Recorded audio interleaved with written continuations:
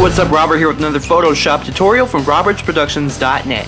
And in this tutorial, I'm going to show you how to remove any acne, pimples, scars, moles, or any other facial blemish that you may have in Photoshop. So I found the first photo I could find of a pimple on the internet because, you know, searching for photos of pimples and acne is pretty disgusting. So I tried to find the first photo I could find and this is pretty nasty so I'm going to try to go fast with this. So there are many methods of removing acne or pimples in Photoshop. Now the first method I'm going to show you is using the healing brush tool.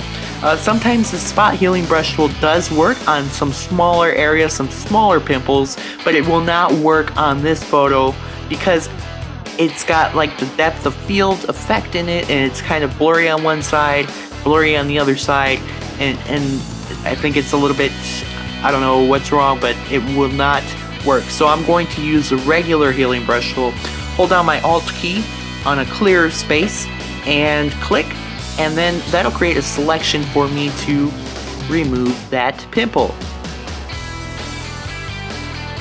Okay, so now I'm going to show you another quick lesson here. If you want to bring your photo back to the very beginning when you first dragged it into Photoshop, all you have to do is go to File, Revert, or hit F12 on your keyboard and that's going to erase everything that you've done to that photo. So now the next method I'm going to show you is everyone's favorite tool, the patch tool.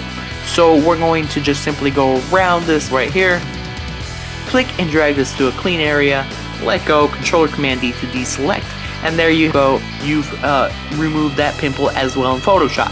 So with the combination of the healing brush tool, the patch tool, and sometimes the spot healing brush tool, you can probably remove a whole face full of acne, uh, moles, scars, or anything as long as it's on your face. It can also, you know, it can also be on your skin. This could probably also remove, you know, little little pieces of lint that you might have on your underwear if you, you know, you want to take that off. You know, if you're if you're if you're boxers or you know if they're black and you got a white piece of lint that'll also help take it off so i hope this helped thank you for watching and until next time take care